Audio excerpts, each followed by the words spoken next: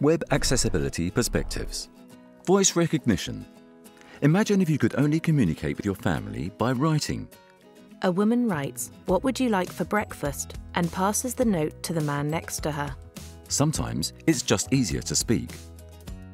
One of the advances of technology is voice recognition.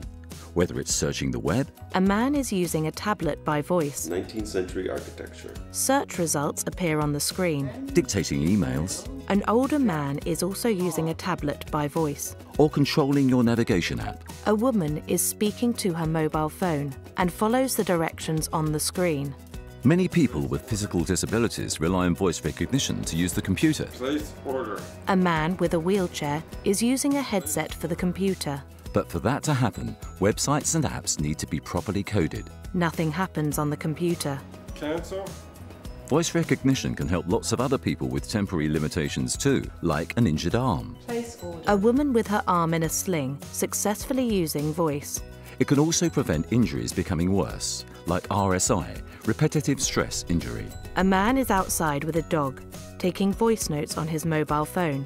or for people simply preferring voice. Place order. The man with the wheelchair is now using a website that works. Web accessibility. Essential for some, useful for all.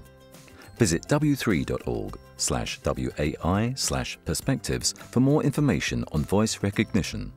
W3C, Web Accessibility Initiative. Copyright 2016.